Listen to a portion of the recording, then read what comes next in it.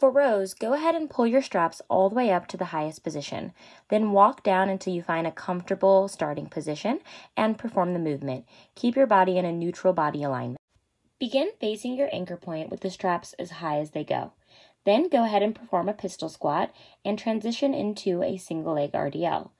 During your pistol squat, keep the weight in your heels and balance your weight enough so that if you were to let go of the straps, you would not fall down.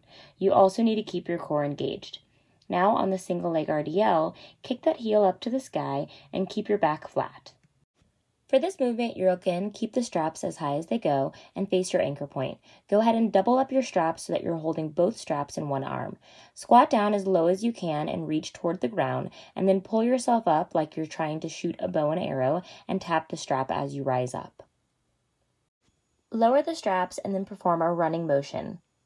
Begin facing away from your anchor point with the straps in the lowest position. Perform a push up and then go into a rollout. Keep your spine neutral and don't arch your lower back. Walk forward to make this easier. See you next time.